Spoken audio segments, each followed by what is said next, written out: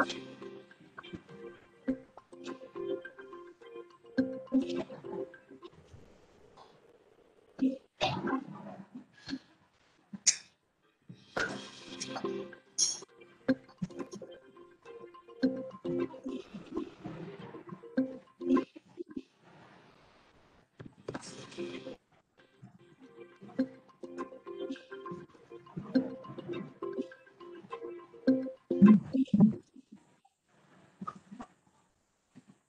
afternoon, friends. It's Friday afternoon. It's going to be three o'clock, and the Constituent College of Yeah. Vinayaka Mission Research Foundation are back with another episode of our uh, now I should say like uh, quite popular Forefront of Future Frontiers webinar series. Just a quick reminder: we are starting series seven now. We have completed 30 episodes and six series so far, and this is episode number 31. And to the theme for uh, series seven is on cancer cure, and we have with us Dr. Gunaseelan, who is the additional professor and head of the Department of Radiotherapy, JIPMER, and uh, he's attached to the Regional Cancer Center. And he is going to talk to us today about radiotherapy for cancer, what is new in it. And uh, to do the honors of welcoming, I invite our Dean, Professor P.F. Kotor, sir. Over to you, sir. Yeah. Uh, very good afternoon, Dr. Uh, Gunaseelan and all the esteemed participants, Professor Bhatt and Professor Mahalakshmi, and my other HODs and faculty members. As uh, Mahalakshmi has already said, we have earned quite a lot of credibility on this uh, platform of IIIF webinars. And today is another milestone on this. You know, we are addressing the issues related to the global burden or the national burden of uh, cancer, the major killer of the mankind. And we are all aware that you know the advances that have been happening or have happened in this cancer treatment, especially pertaining to the radiotherapy, have happened in the last one or two decades. Uh, and you know it's uh, now we can go to the extent that we do not fully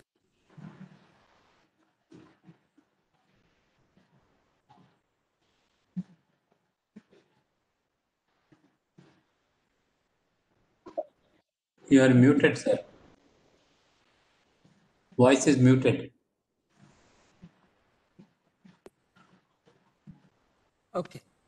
So, uh, on behalf of our uh, institute, on behalf of our uh, uh, management, on behalf of our uh, university at large, you know, I are here to welcome our resource person for today, Dr. Gunaseelan, for the new milestone in the triple F webinar platform, which has uh, uh, attained credibility in the past more than seven, eight months uh, amongst the metal fraternity, trying to educate, trying to professionally progress the participants.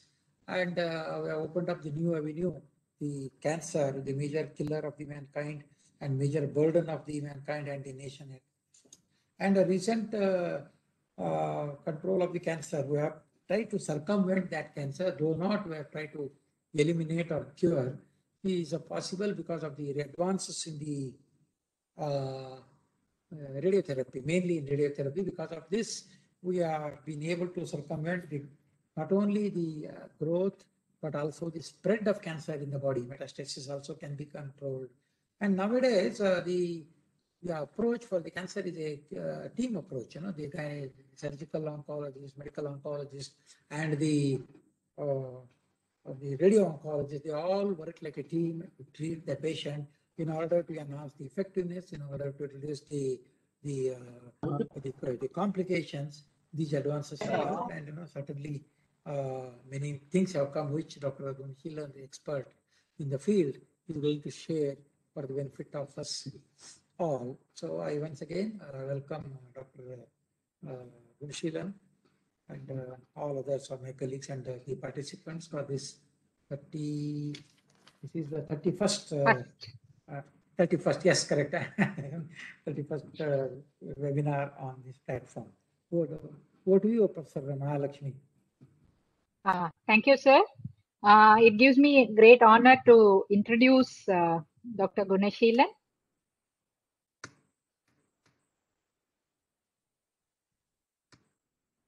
Uh, currently serves as the additional professor, head of the department, and also the deputy medical superintendent in Regional Cancer Center Hospital at Jipmer, Pondicherry. He is a MBBS graduate from Jipmer in the year 2000, uh, and maybe Butcher was there. But short while, I think I was also there, must be at that time. He has done his post graduation from the field of radiotherapy at PGI Chandigarh, and all subsequent to that, he has joined Jipmer. He's got he's been quite active academically. He's published for he has done uh, 22 presentations in conferences and he has delivered uh, many lectures in CMEs and conferences. He's a very popular speaker in the uh, public media. He has given a lot of lectures about cancer prevention and early diagnosis in the uh, television as well as in the FM radios. He is uh, received quite a few extramural grants from ICMR and uh, JDF Texas for uh, maintaining cancer registry. And more important, he also runs the palliative care services clinic at uh, our regional cancer center, Jipmer. So these are uh, some of his achievements, and uh, we would like to uh, uh, Gunaseelan for sharing the stage now. Uh, the platform is open to you, Dr. Gunaseelan, and you can go ahead. I'll make you the presenter shortly. Over to you, sir. Thank you for the kind introduction, madam. I'll, I'll start sharing the slides. Yes. Yeah, you can go ahead, sir. And uh, before sir starts, just a small announcement for the participants. We'd request everybody to keep their mics on mute mode so that the audio quality is good for all. And uh, also, uh, this session is being recorded for academic purposes and also for posterior use. This is for your information. Over to you, sir. Okay.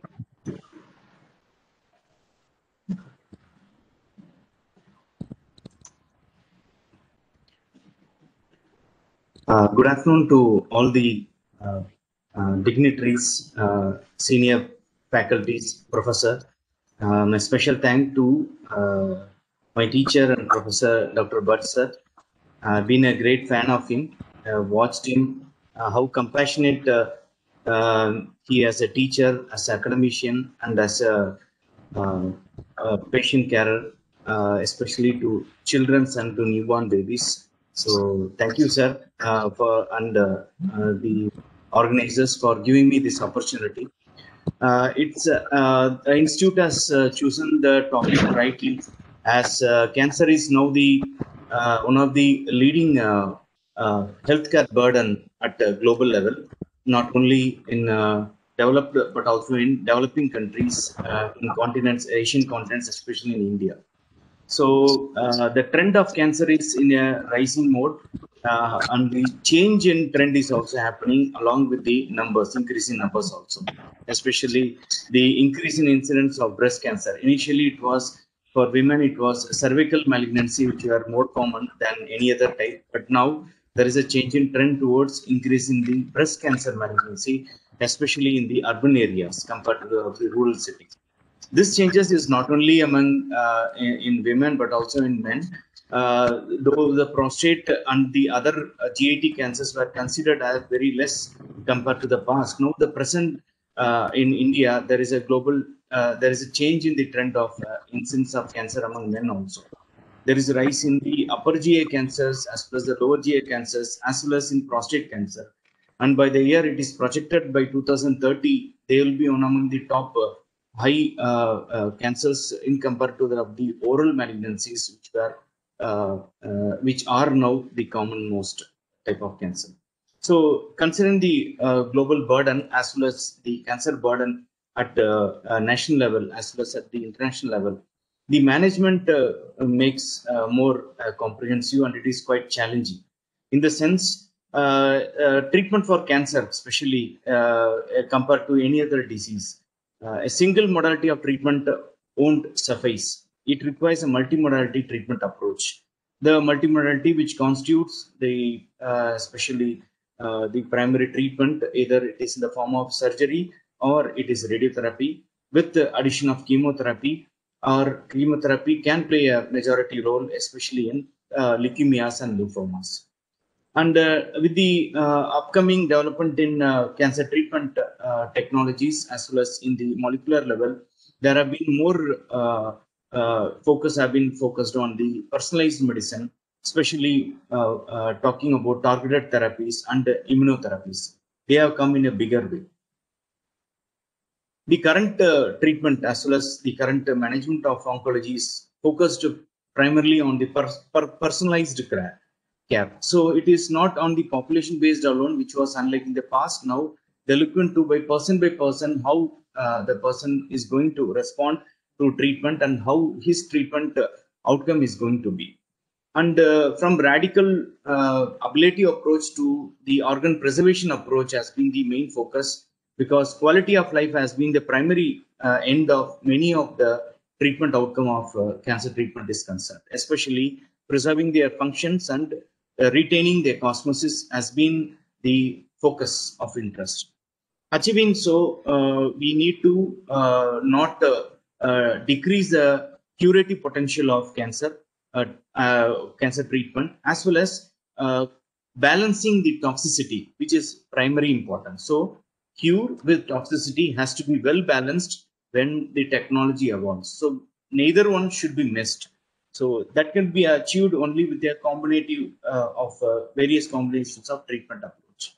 The guidelines which are followed in uh, at, uh, at our institute as well as at national level includes both the international as well as the national guidelines. The standard guidelines which are followed are the NCCN, uh, ICRU, that is the International Commission of Radiation Unit, especially for reporting of cancer uh, treatment related events. And the toxicity which we follow is the radiation therapy oncology group. And at Indian level, we uh, are developing, and there are certain sites are developed, well developed protocols by the ICMR, uh, which is followed at many national institutes of India. So, what is exactly radiation? Uh, it utilizes very high energy particles or waves, more common so, with the form of either X-ray or gamma rays, by then by destroy the tumor cells or damage the tumor cells. But more so, the more common uh, uh, way of uh, uh, interaction of radiation is by uh, not the what we think of logical approach where the radiation will directly hit the DNA and cause damages. The 90% of the damages are done by the indirect mode. That is, radiation will interact with the body water molecule, which will create free radicals, and these free radicals in turn will create damage to the D DNA, causing cell death. So this indirect mode of DNA damage, which is the majority of the reason how the damage occurs on exposure to radiation to the body. The entire goal of treatment, as I have mentioned earlier, is that we need to create a balance between the control and the complications evolved out of the treatment. So as we escalate the dose, the treatment control has uh, reaches a threshold beyond which complication prevails more. So we need to create a balance, and this is called Strandquist plot, where we, with the improving technology, we are trying to increase the distance between these two gaps. That is, at a threshold of well limited control, we need to decrease the complications where we can achieve cure and therein by improving the therapeutic outcome. Uh, when we say radiation, at which and how it is being employed, nearly if a patient is diagnosed with cancer, 65 to 70% of all cancer cases require radiation in either curative or palliative form. So it plays a very key in the form of treatment of cancer is concerned. Uh, the it stage wise at the earlier stage, stage one or stage two of any type of cancer, radiation can act as a single modality like surgery.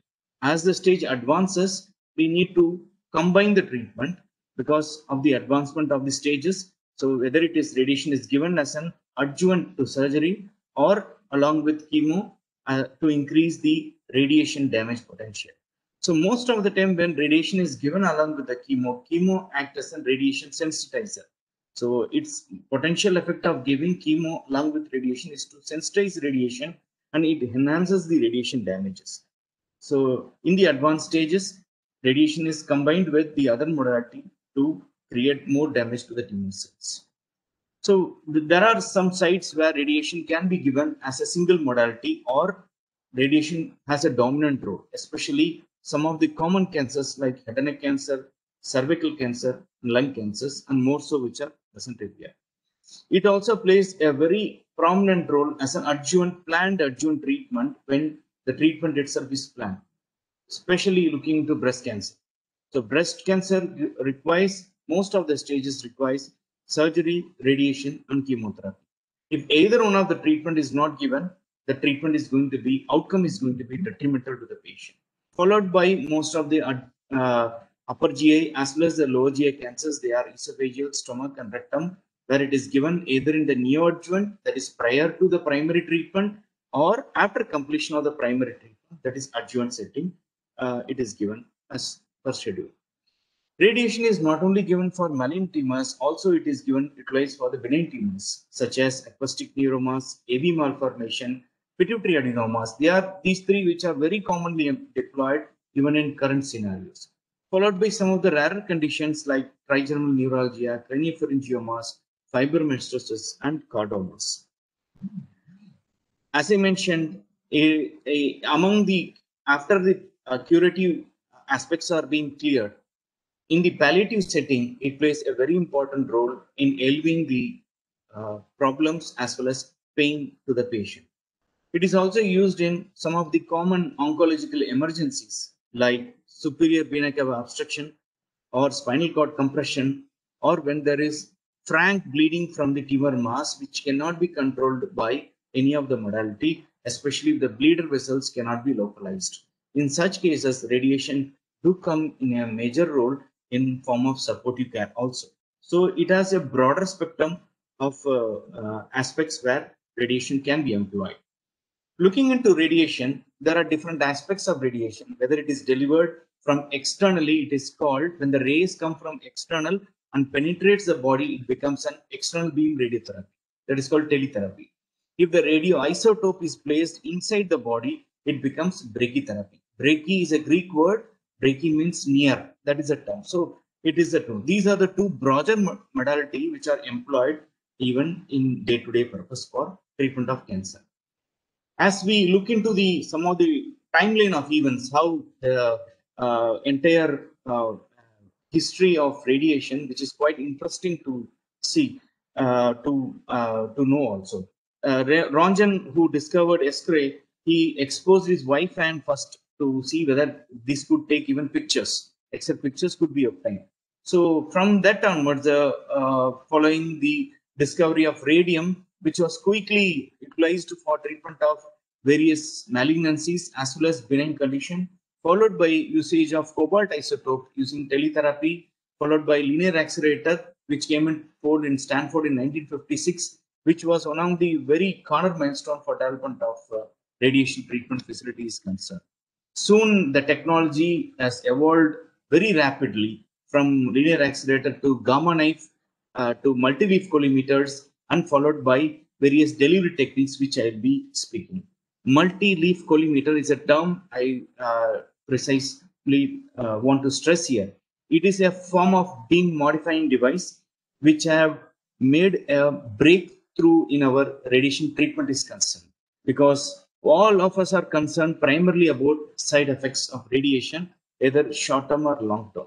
So that could be tackled very well with the advent and usage of these simple uh, modifying device that is the multi-leaf collimators, which I'll be explaining to you in a better manner in the future slide. Cobalt machine, I think most of us would have been aware, but this machine is still a sturdy machine being used in many government centers because it is a very low, it's very cost effective, uh, lesser repair or uh, lesser technical errors do happen. However, the beam profile of it is quite disadvantaged because you need to replace a source which is quite cumbersome in present day regulatory authorities requirement. And second, the quality of the beam itself is not so high compared to that of the uh, X-ray based linear accelerator. So uh, a linear accelerator was uh, first discovered by uh, Dr. Henry Kaplan. It was introduced for medical purpose in 1956. Soon it was used for the treatment of retinoblastoma for a child uh, in the year. It was even it was the first uh, patient to be treated using linear accelerator. So the technology have evolved from the two-dimensional, that is with the cobalt era, to the three-dimensional with the modern linear accelerator. Over, it has gone to the fourth dimensional also. That is the time as well as the uh, space. Why so much technology is involved and how does it made improvement in the treatment outcome? By the improvement in technology, we are able to better visualize the tumor in the sense, in the initial two-dimensional era, we were only seeing the tumor as a in x and y axis. The volume of the tumor could never be appreciated, cannot be delineated, nor can be visualized or calculated how much dose exactly the volume is of the uh, target area, that is the gross tumor volume, how much it is received. So in the past, most of us would have seen cancer patients are marked on blue color uh, square box or a rectangular box on the skin and being treated. That is the two-dimensional treatment. So nowadays we don't uh, even mark on the patient at all. So we are able to better visualize by the advent of imaging techniques like CT, MRI, PET CT, which are all incorporated into the radiation treatment. And the second most important is immobilization devices, uh, which I, uh, in the time which I didn't mention is that what is the importance of immobilization because unlike surgery, radiation is given over a period of days. So patient has to be laid down in a fixed position for a continuous, say, 20 days or 30 days treatment. So they are given in single sittings, not in a single sitting. They are given in multiple sittings. That we call it as fraction. So multiple fraction of radiations are delivered over the treatment time. So patient has to lie down in the same position, the same angle every day. So that could be only achieved by using some form of pre-marked device that is called immobilization device, which I'll be showing in the subsequent slides. So with the use of rigid immobilization, we are able to escalate the dose, doses to the target, therein by minimizing the uh, radiation to the normal tissues by use of those multi-leaf collimators. We call it as MLC, multi-leaf collimators. So the overall turn is that we are able to improve the quality of life of cancer patients as well as we are able to preserve the organs at the end of the day. So all the time I have been telling about the technology involvement from 2D towards a third dimension of treatment that is 3D with the advent of IMRT, which we are calling commonly as intensive modulated radi radiation therapy.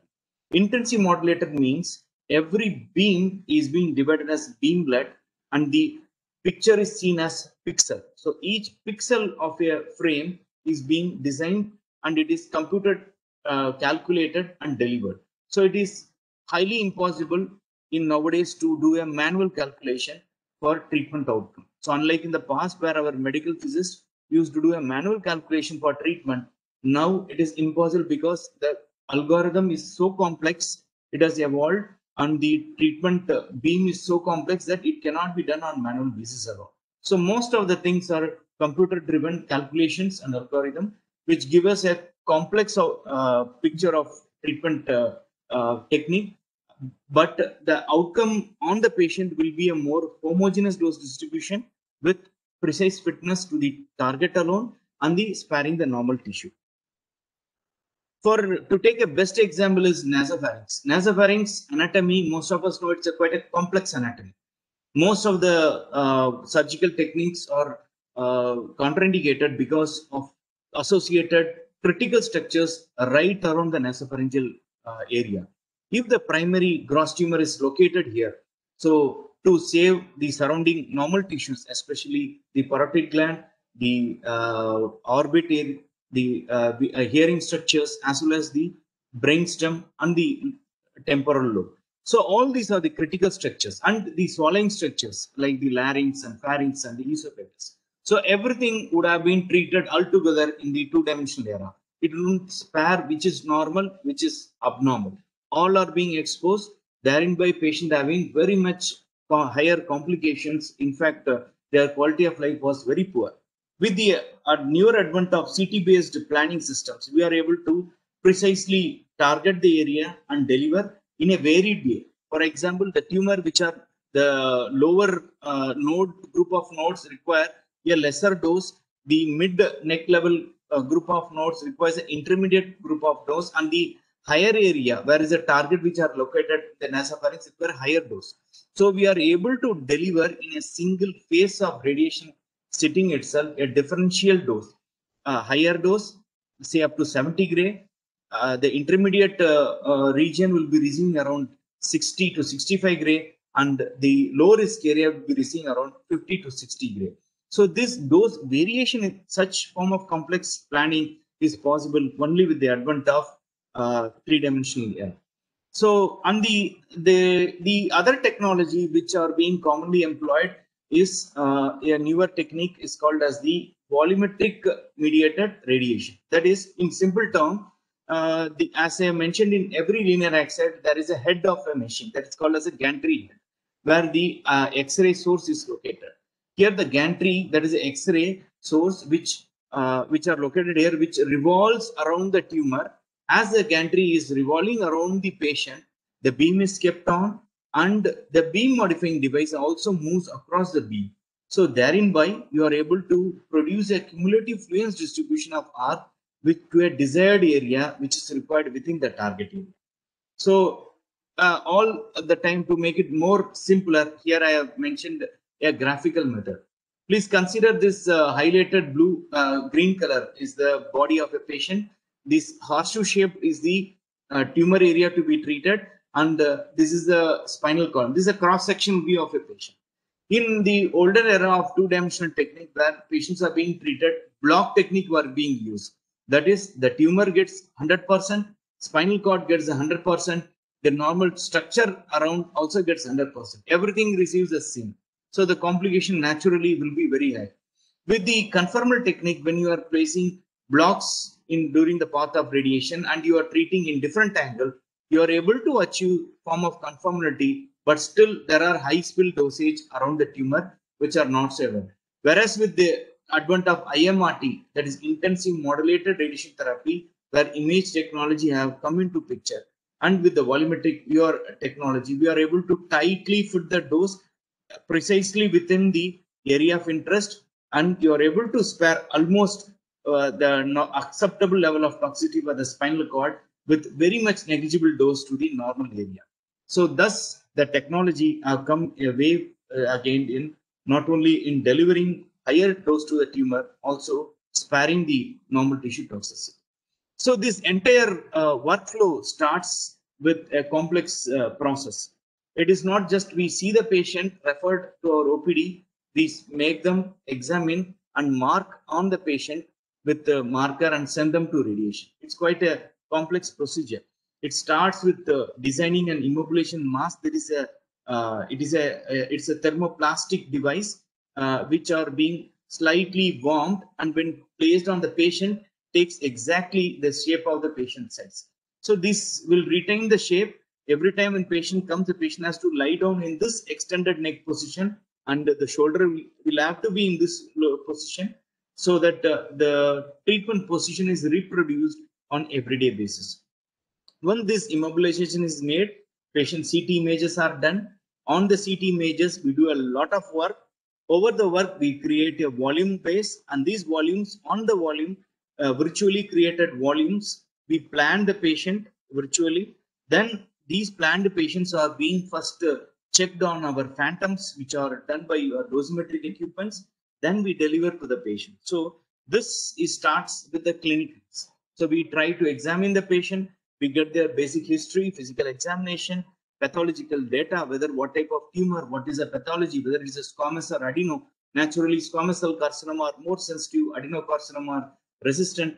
And what are the other radiological information? What is the stage? What is the extent of the disease? Then we decide what is the dose to give, when to give, that is whether to give first uh, chemo first or whether to send the patient for surgery. There are prefixed protocol and where to give, where, how to focus a patient and how to focus a radiation and uh, how much dose to be given. So all these are being decided and prefixed by a joint tumor board. Then followed by, as I mentioned, the first procedure of treatment starts with creating an immobilization devices so that patient doesn't move during treatment and retains the same uh, treatment position during the consecutive days of treatment. So uh, such immobilization devices are available are being done for various parts of the body and uh, CT imaging are taken. So we take a CT scan with these immobilization devices and uh, there are uh, uh, problems do happen because uh, though we can make a patient still during the treatment, but there are inherent movement happens within the body of the uh, thing. Like for example, if the tumor is located in lung, naturally during every inspiration and respiration, there is movement that happens. Why these movement are so important for radiation? Because unlike in the past, we are not giving a square block treatment. Our margin for the gross tumor has been reduced. So as you reduce the margin for the gross tumor, you should not be missing the tumor during various internal motion like respiratory movement or bowel movement or any form of movement within the body which happens. So which has to be taken care. So that comes a position called as a 4D CT. Along with the CT scan, the fourth dimension is nothing but we synchronize the respiratory phase as we take the image. So various phases are being sorted out and being adopted as called as a 4D CT. So that is called synchronizing the radio respiratory cycle as we take the CT images. Then uh, the classical uh, picture here to show is that when the lung tumor, when it is taken in an inspiratory phase, the volume is small. At the same, when it appears on the expiratory phase, the volume expand. So there is a gross difference in the volume which appears because we are all going, uh, what we do is that we draw the tumor on a CT. When there is such gross differences there, then uh, naturally you, you will have a chances whether to overtreat the tumor or will be underdosing the tumor. So that moment during respiration or inherent movement have to be taken care and that is taken care by using the technology called as 4D CT. And uh, we also, uh, after taking the CT scan, we fuse the MRI taken from the various scans, whether it is taken in a diagnostic uh, department or taken elsewhere. We try to copy the image into the uh, present CT image. That is called as a fusion. So by uh, uh, using MRI into a CT, naturally MRI has got a better soft tissue contrast compared to that of the CT scan. So we are able to very specifically, sharply uh, see the target area, especially if it is very closely associated to the critical structures. We also use the PET CT scan because there are structures which are not metabolically active or which doesn't show a difference in grayscale or in the contrast scale, but much picked up by use of PET CT scan, as shown in here. We, we, we can see here it is it doesn't appear so the contrast appears so normal only. But when we took a PET CT, it shows a very high uptake of uh, radioisotope here. So it has been included into the primary target area of interest. So the imaging is also used for uh, target area when we draw a CT images. So it makes differences. It is used for various structures for head and neck cancer, for lymphoma, for pelvic malignancy, especially prostate cancer. Prostate cancer, we are going now up to 80 gray. Once it was uh, crossing 60 gray to pelvic radiation was quite challenging.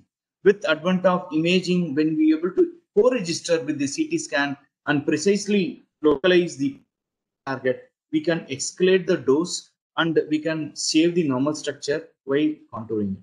So thus we uh, this helps to contour each structure uh, on the slice by slice uh, when we draw the CT scan. Also, there are multiple uh, newer uh, PET CT um, modalities have taken into clinical practice. The commonly employed PET, PET CT is the FDG PET scan, which is a metabolic PET scan. Uh, tumors are known for hypoxia.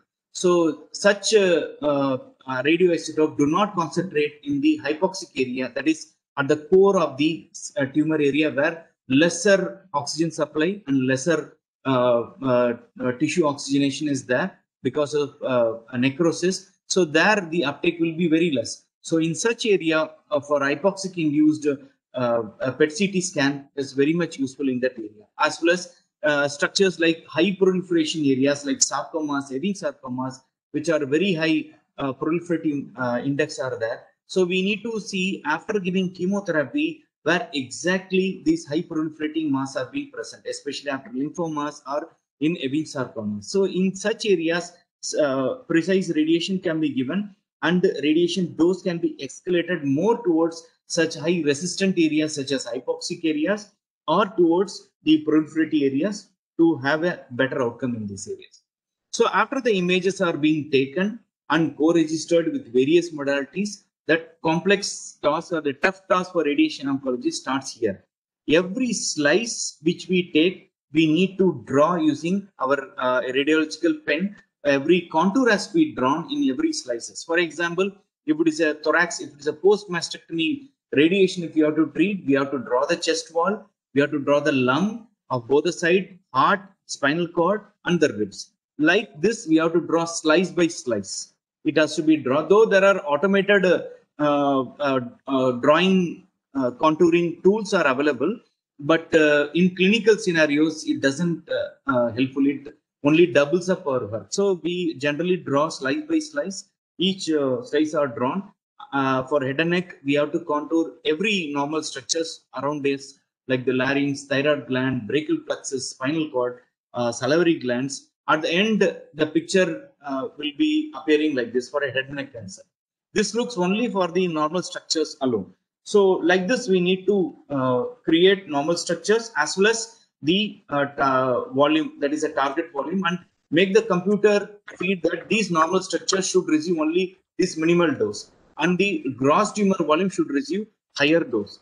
Then uh, the uh, uh, algorithm work starts on its own and we get the final. So the planning uh, after contouring is done, the planning process starts, which is quite again a complex thing where the it is completely a computer driven uh, treatment area. It is more like from a block treatment to a three dimensional treatment that is sculpting and then creating a more clear uh, dimension. So the analogy which I have shown at the bottom here, how uh, the technology has evolved to give us a precise way of treatment.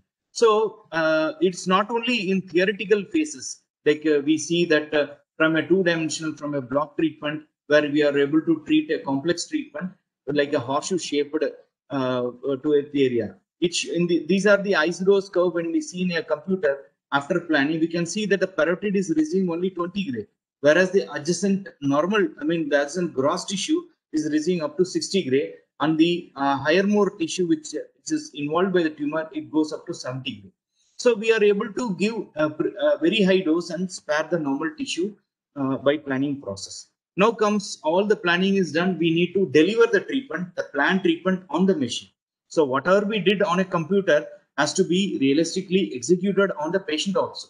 So this is done by because now we have grossly reduced our volume, precisely fitting to the tumor area. So we have to be very careful that we are not missing the target with the increasing technology.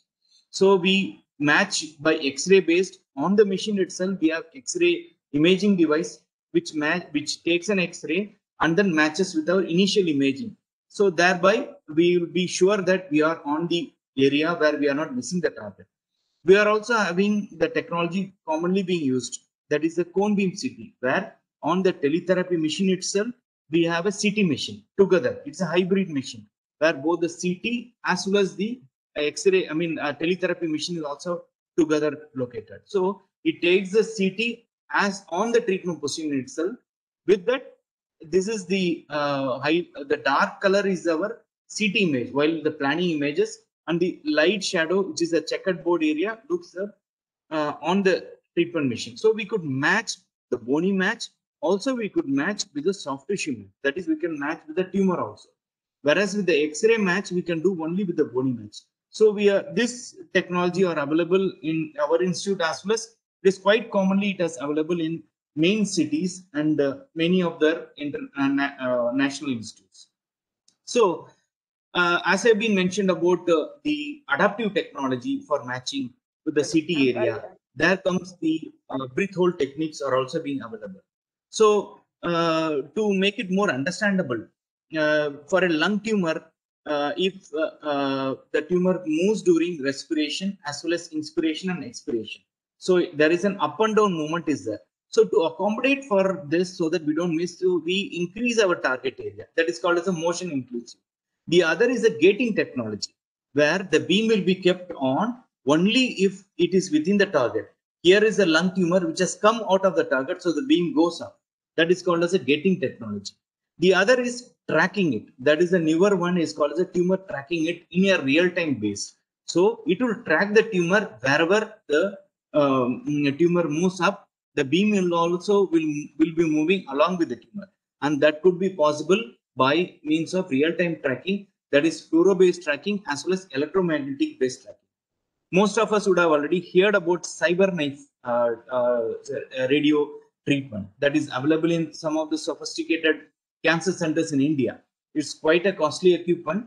This is a, real-time tracking image where this entire uh, linear accelerator is mounted on a robotic arm and uh, as a patient chest wall moves, the entire linear accelerator is also moving along with the respiratory phase of the cycle. So it is a real-time tracking. It throws the beam as the target moves. So by means of how it does because basically there are uh, radio marker fiducials are implanted into the tumor.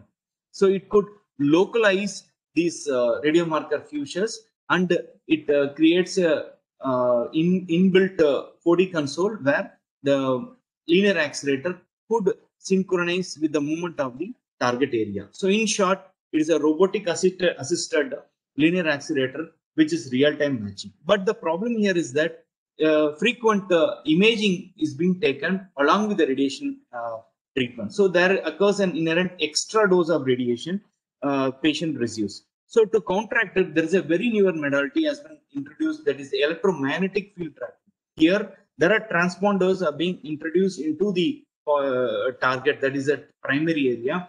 These transponders emit uh, electromagnetic signals and which tracks the tumor. So there is no uh, exposure to extra exposure to radiation by frequent imaging and uh, the tumor is uh, very much targeted within our area of interest. The latest technology with linear accelerator is with the use of MRI itself. So we have a cone beam CT with the linear accelerator, which is commonly available across India.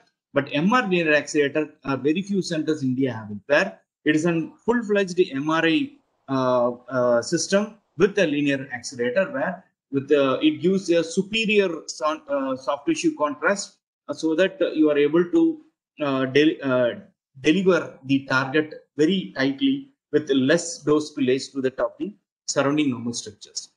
Uh, a word about the stereostatic radiosurgery. Uh, it is a misnomer. It is not a surgery. It is also a form of radiation treatment.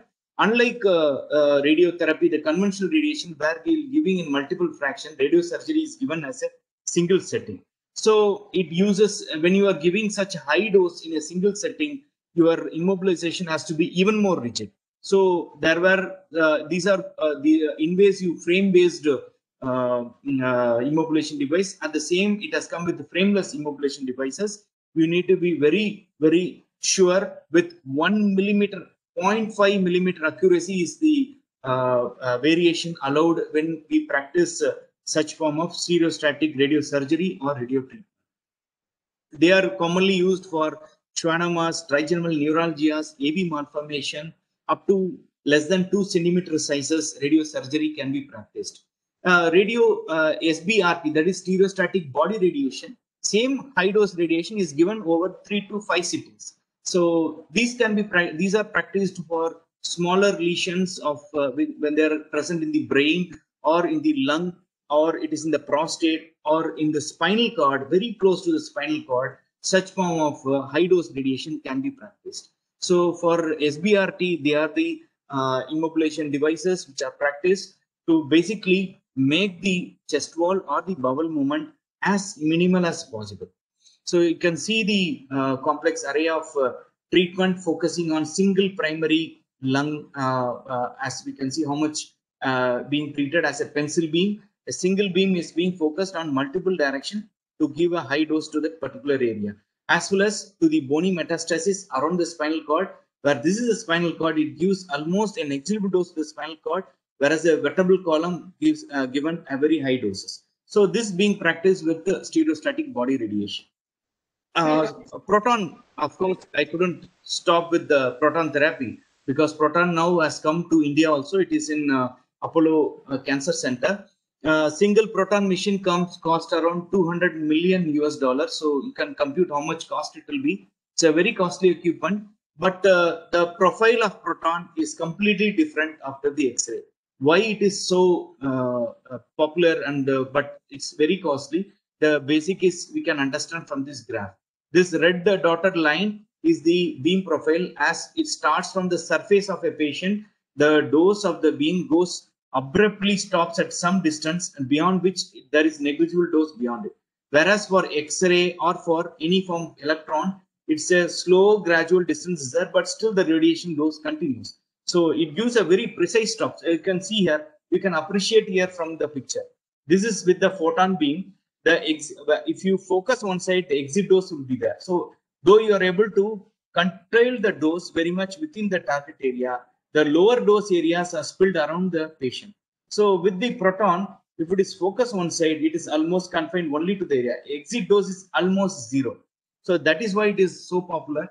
So that uh, uh, this uh, uh, uh, these are being practiced now at very particular sites such as pediatric patients, pediatric malignancies, and uh, some of the retroperitoneal sarcomas, where uh, treatment with uh, photon beams, that is with X, is quite difficult.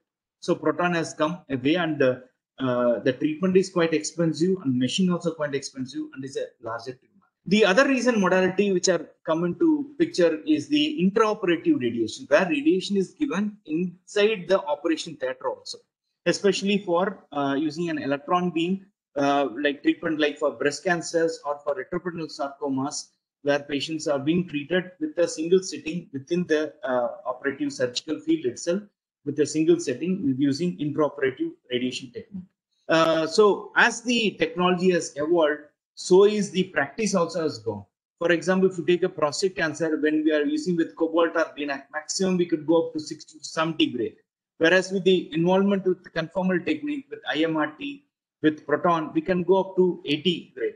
With carbon ion, which very few centers, there are four centers of uh, uh, which are available globally, mostly in Japan and China and some part of Germany, where they are practicing carbon ion uh, therapy also, where they could go very high dose also. They are very, these are particle radiation like proton, where they can go with very high uh, radiation is also possible. And uh, dose also can be escalated with uh, carbon ion therapy also. So this is about teletherapy. About brachytherapy, uh, uh, the entire scheme of radiation started actually with brachytherapy. Brachytherapy initially it was all with the manual uh, loading technique. Even now people talk about radium treatment, but radium treatment in cancer is no longer being used. It's an obsolete form. So what we use is a iridium uh, isotope, and this brachytherapy are all remote controlled afterloading technique where we place a hollow metal needle uh, into the patient. After that, they are being planned specifically and then being treated very precisely. Uh, using and they are used on a daycare basis and completely protected from uh, any form of radiation hazard to the uh, uh, patient as well as to the radiation safety worker. It's almost we are under care. So this again for brachytherapy, the workflow is quite starts from how you plan the patient. You have to image the patient. With imaging, we need to uh, plan on the image. Then we deliver the technique. Uh, there are various forms of brachytherapy are available, but commonly which are being practiced are the interstitial brachytherapy, like for breast cancer, for sarcomas, intracavity brachytherapy, which are practiced for carcinoma cervix, and intraluminal brachytherapy for uh, esophagus as well as for rectum. Some we practice surface, surface mold brachytherapy for skin cancers and for other uh, type of recurrent small uh, lymph node which are present close to the tumors. Uh, this is the dose distribution uh, comparing external uh, radiation even with the latest IMRT technique cannot be comparable to that of the uh, brachytherapy because you are introducing the source into the tumor area itself where you are able to deliver uh, the uh, very sharp uh, dose distribution to the target area itself. So these are some of the sites being practiced at our institute as well as in various places for brachytherapy for breast cancer, especially for breast conservation treatment, for prostate cancer as a radical treatment, for cervical cancer along with external radiation, as well as for sarcoma post-operatively. Uh, uh, these uh, these are also practiced for surface mold treatment, especially for skin cancers or for squamous cell carcinoma or for basal cell carcinoma. We practice surface mold brachytherapy, where the the sources are brought to the surfaces and being treated. Um, mm, the, the whatever machines which I have been talking till now are all uh, foreign made and uh, they, there are uh, almost only two companies which produce uh, most of the linear accelerators and brachytherapies. Now India has come up with our own indigenous uh, uh, uh, instruments where we where they are uh, uh, have a cobalt based uh, uh, teletherapy machine which this machine we have at JIPMER uh, we have in, uh, installed uh, with that is a Bhabhatron and uh, they also have uh, a linear accelerator and the brachytherapy also. Why I'm mentioning? Because this is quite uh, competitive and the price are very very less. Even if you say one third of amount what is being sold by the uh, foreign countries. And uh, so uh, we need to appreciate that. And many centers government centers do have deployed uh, made in india make in india formulations of linear accelerator which are primarily under uh, commissioned at the uh, barc brc Bhabha atomic research center. That area where these are being commissioned and being installed. Coming to say the technologies which are far bound have evolved but india is a developing country there are challenges which are being faced at present. The most and the important is the resource. That is the availability of this technology to the common man. Uh, somewhere around uh, in the year 2005 there was an article interesting article uh, uh, based on a survey it was being published. Even now for every uh, one uh, linear accelerator or cobalt machine 21 lakh population it has to cover. So the requirement of uh, teletherapy or radiotherapy machine is quite vast that it has to increase. Also the availability of uh, the oncologist. Uh, by 2030 we need to have at least 6000 minimum oncologists to cater properly to cancer patients. Currently we our score is one third requirement one third availability only. So we need to increase the manpower the resource also need to uh, uh, improve because the waiting time as the patient waiting time increases average patient waiting time across india is 2 months to 3 months. That waiting time is detrimental to their outcome. So these technologies should be made available. Uh, it should be a right to every patient or every person who is diagnosed with cancer to get into this type of uh, uh, uh, proper treatment. I cannot say it is a sophisticated. These are very needed treatment should be available to all these patients. Thank you.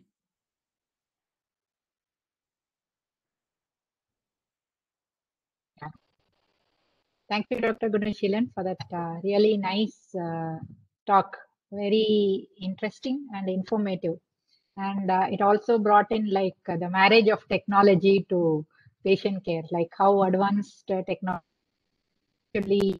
really help towards uh, decreasing the side effects for patients as well as improving the safety of these therapy. Uh, I'd request uh, the participants to share the questions for the speaker in the chat box. Can we stop sharing if we are finished?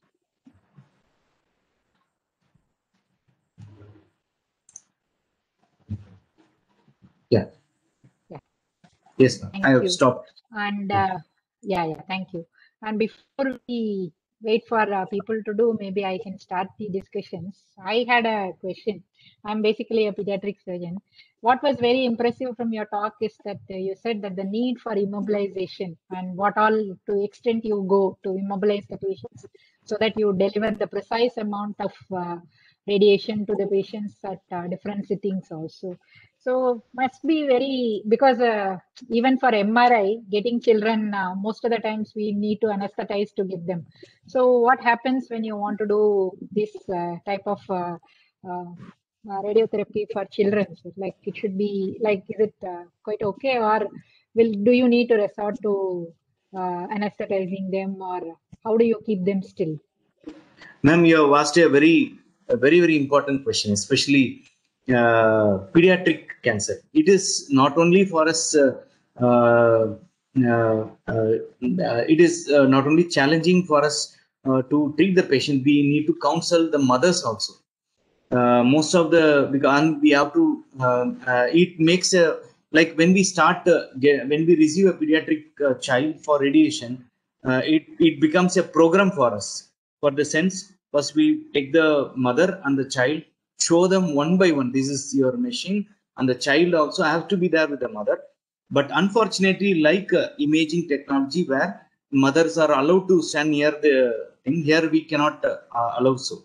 So it requires uh, counseling sessions and they undergo some form of uh, training session. So uh, while the treatment is on, we, we make the child sit and watch the treatment. We have uh, in our treatment console various video cameras are there. While other patients are getting treatment, what we make the child or children along with the mother, they just make them watch first silently. We don't interact with them at all. So the more the interaction, they get more worry and they see it's something doctor is trying to convince false. So they're trying to. So without silencing, we make them uh, watch the treatment. Two three days they come and watch. Then uh, without any treatment on the treatment couch, just on a dummy say we don't uh, on the treatment. We make the child lie down and the mother stays there for five to six minutes at the end of our day every day. So this goes for a week period. Then of course, we require a very good support from the anesthetist. Uh, we have to make the child totally uh, uh, uh, uh still during uh, the CT simulation. That is, while we are taking image, if required MRI or a CT scan. Then during the continuous treatment also. So the effects of anesthesia during the treatment do prevails so, but somehow uh, uh, at the end is quite rewarding. We have seen patients, those who are pediatric child who have gone through this procedure, but they become quite friendly with us. Uh, we have a separate team to take care of and a counselor to take care of this pediatric child, especially when they are missing. We give them uh, uh, prizes or toffees, something like that. At, at, the end of the day, we have a, uh, a, session and then we send them off. It's quite gratifying at the end of the day when especially when we treat children over uh, machines compared to adults uh, may not be biased but that is the and it is quite challenging many a time it has also gone on the negative way where despite all the measures we have stopped the treatment in between because uh, uh, uh one the child will not be cooperative or uh, it patient the child may not be suitable for continual sedations or anesthesia so it is it's a sad thing but it is it's the, that is the uh, thank you. I have a question from Dr. Vishnu Uh, sir, want discussed in length about multimodal uh, therapy, but also you talked about uh, the role of planning in delivering a safe dose of radiation for uh, patients with cancer. So, sir wants to know: Do you discuss uh, all cases between medical, surgical, and radiation oncologists for treatment uh, before you take them up, or is it only on referral basis? How does it go? The planning process. How do you plan multimodal therapy? Uh, so, uh, sir, actually, uh, uh that uh, it's a uh, pertinent question because, as I said, cancer cannot be managed with most of the time with a single modality. Maybe at at the primary level, when the patient presents, radiation alone may suffice. But if the patient develops recurrence, it requires a surgical modality or to salvage, we need to require chemotherapy or patient will be quite advanced or bulkier where with the radiation portal alone, it will not be sufficient. We need to decrease the tumor volume by giving chemotherapy or patient uh, uh, would have completed surgery, but still the margins would have been positive where still uh, going a resurgery may be difficult where radiation come to. So that exactly the tumor board discussion starts.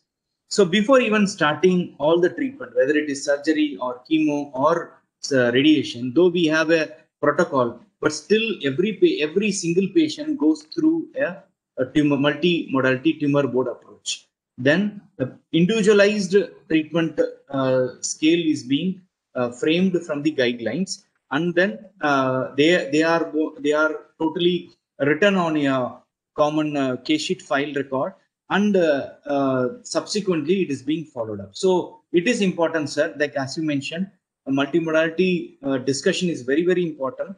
And since it is not a single treatment, like for example, patient would have been planned for initial radiation and chemotherapy then subsequently the main modality for treatment will be surgery for example in upper esophagus so the date of surgery has to be channelized after the at the correctly at the end of the radiation treatment so getting a RT date as well as channelizing chemotherapy and giving a date for surgery where the patient also has to undergo uh, pre-anesthetic clearance. So it is a complex procedure and can only happen if it goes through a tumor board discussion.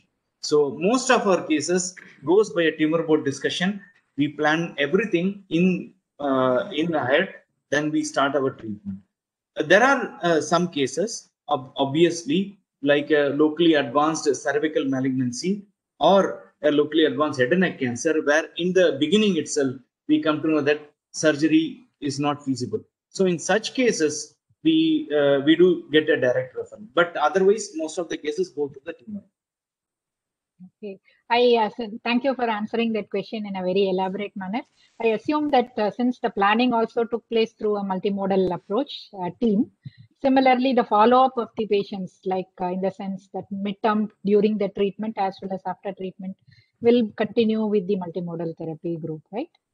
Yeah, absolutely, ma'am. It is Mm. yes, yes, yes. The patient, what is that? Uh, because the, after the treatment, uh, patient cannot follow up with radiation department once and then again come to a chemotherapy, medical oncology, and then go to surgery. So we call to the tumor board again for follow up. So most of our cases come back to the uh, tumor clinic for follow up also. So that is quite important. We need to monitor our treatment side effects and we need to monitor our treatment outcome. So uh, patient need to be followed up quite long, uh, especially cancer patients after treatment also. Okay. Thank you. And uh, also, you briefly touched upon the role of uh, radiotherapy in palliative care. Actually, take a little bit more on that. Uh, Yeah. Uh, it helps palliative. Yes. So um, um, we, we can cure sometimes, but uh, we, uh, we can definitely take care always. So palliation is there always. So curing is under uh, to a limited stage, but definitely we can take care of all the symptoms at any stages.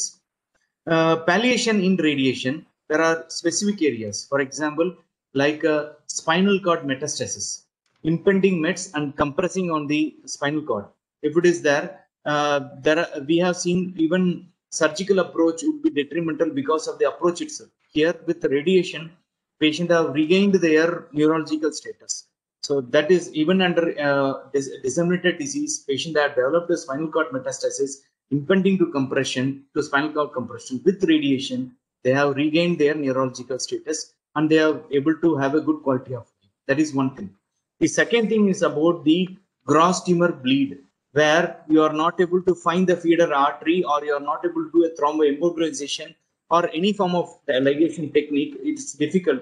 In such cases, the only resort or the only approach will be to give a larger dose of fewer fractions of radiation. But definitely it takes time. It doesn't stop the day itself. It takes two or three days to develop endarteritis, acute endarteritis. Then the radiation uh, acts and then it stops. So it uh, in that way to uh, provide. And the third is about the uh, obstructive symptoms, especially if patient is having a complete obstruction in, in the esophagus, where uh, any form of uh, uh, stenting procedure even is not difficult, or it reg- the stent regrows in the esophagus. In such conditions, again, radiation could uh, make a role by giving intraluminal brachytherapy, and we can open up the area just to have a diversion technique. So in such cases for obstructive symptoms and uh, most important is for the superior vena cava obstruction where uh, patient uh, may not be able to even lie down.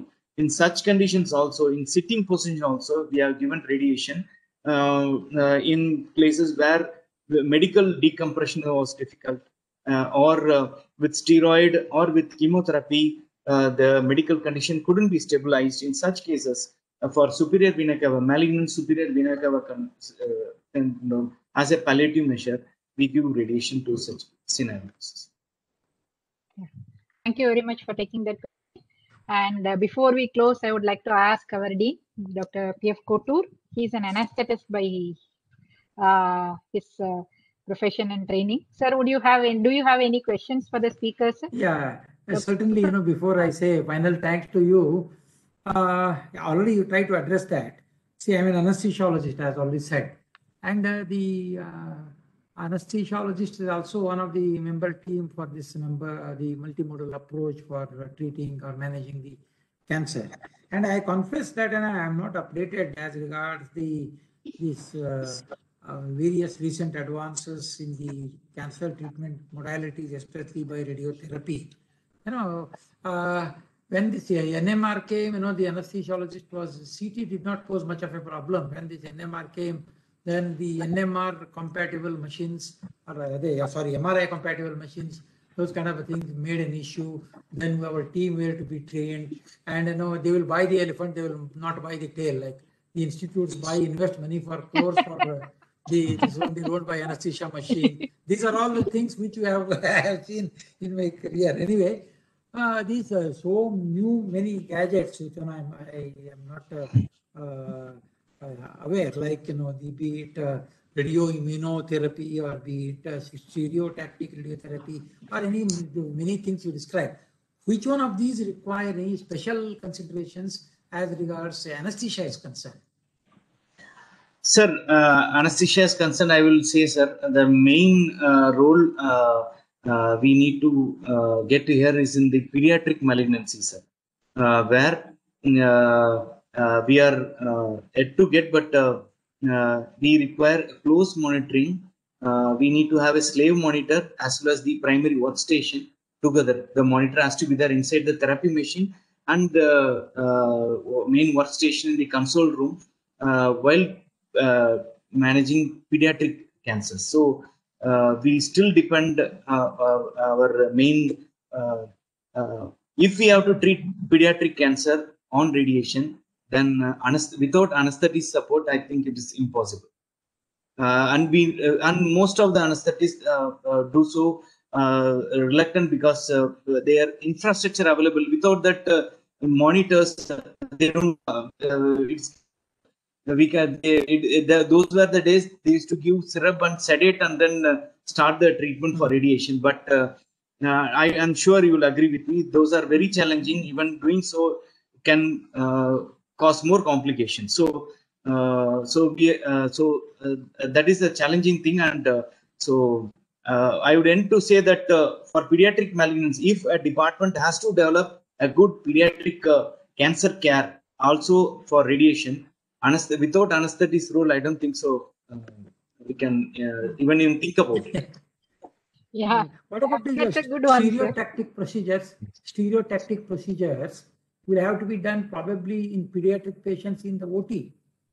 Sir, uh, yes, sir. Sir, actually, as I've shown in the slide, there are two frames are there. One is a invasive frame and other is a frameless frame. Invasive frame has to be done on a operation uh, board, but they do it on a local anesthesia. Wherever those frames are fit on the skull area, so on a four quadrant area, it is done on a local anesthesia, thing, and the frames are being put to it. But nowadays, frameless have come where uh, a non-invasive method uh, it is type of it is type of a thermoplastic mold and uh, it can rigidly fix the patient and it doesn't allow that uh, variation of even to 1 mm variation. So the only with the invasive frame we will require a local anesthetic uh, procedure where stereostatic radio uh, surgery is required. But when we practice stereostatic radiation in two or three setting with frameless device we can go ahead sir where uh, may not be we may not require local anesthesia also for that. sir. Uh, Thank you so much, Professor. Welcome, sir. Yeah okay. Sir, uh, okay. Thank you, Dr. Gunaseelan. Wonderful talk. And you really actually walked the talk. You took us through the advances in the radiotherapy from uh, uh, what happened uh, in the linear accelerators in 1954 for the retinoblastoma to the newer advances. It was indeed very nice uh, to see uh, those things done. Hello. And when technology especially helps uh, people to actually improve the patient care outcomes, there is nothing like uh, that. So on that note, we'll uh, thank you, and we would like to uh, uh, close this uh, webinar uh, with this. Thank you, and on behalf of the Scientific Society of AVMC and VMRF uh, deemed to be university, I thank you for this wonderful lecture. Thank you. Thank you, sir. Thank you, uh, everyone, for giving me this opportunity. Thank you so much. Sir. Thank you. Thank you. Thank you. Yeah, and before I close, I need to give some information to the participants. Uh, we are actually going to explore the theme of cancer cure next week also. And next week we have an interesting talk. Uh, today we saw about radiotherapy, how it is going to help in cancer. Next week we are going to explore head and neck malignancies, and we have Dr. Prathamesh Pai, who is the head of the Department of uh, Head and Neck Oncology. He's a surgical oncologist from the Tata Memorial Hospital, Mumbai who is going to talk to us about uh, the impact of COVID on head, head and neck malignancies, what has actually happened in the country during this COVID pandemic, and how cancer patients are coping up with this, and what has been done, what has happened in their cancer registry uh, during this COVID pandemic. So that's the talk for next week. So I request you all to join uh, this session again on next Friday, 2:45 p.m. Till such time, I thank uh, uh, everyone and uh, I hope uh, you all stay safe and stay productive during this uh, difficult times. Bye bye in this meeting. Thank you.